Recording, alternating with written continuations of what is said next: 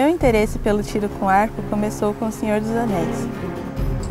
Mas depois percebi que não era bem assim que o tiro com arco funcionava. Alguns anos depois, continuo gostando do Senhor dos Anéis, mas deixei a ficção para trás e me tornei campeã brasileira e a primeira atleta do nosso país a ficar entre as oito melhores do mundo.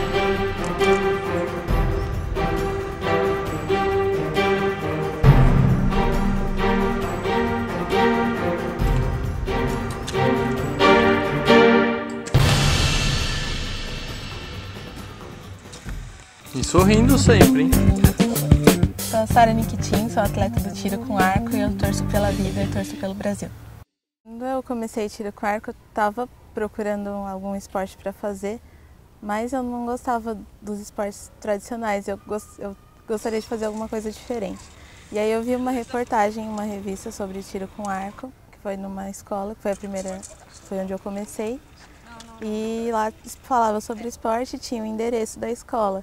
E aí eu fui, falei com meu pai na época que eu queria tentar fazer tiro com arco. E aí ele me levou lá para conhecer, eu fiz a primeira aula e aí eu gostei desde o, desde do, do primeiro dia, assim. Então, não é que eu tenha começado a atirar por causa do filme, mas se eu não fosse fã da trilogia, eu não teria comprado a revista que tinha reportagem sobre tiro com arco. Acho que a experiência que eu tive ao longo do ano contou muito para ir para o mundial, para minha participação no mundial.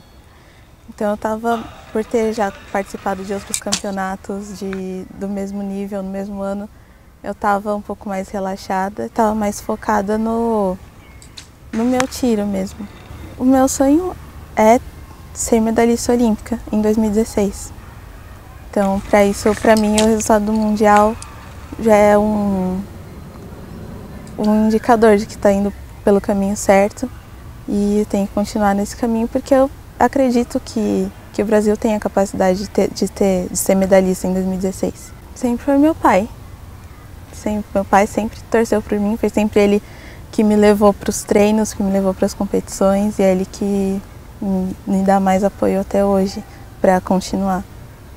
Eu não acompanho muito futebol, eu não sei não sei muito mesmo do, sobre o esporte, sobre regras, sobre nada. Não tenho, não acompanho campeonatos assim na televisão, mas acho que é um evento legal, um evento importante. Acho importante a gente dar, os brasileiros darem apoio para a seleção.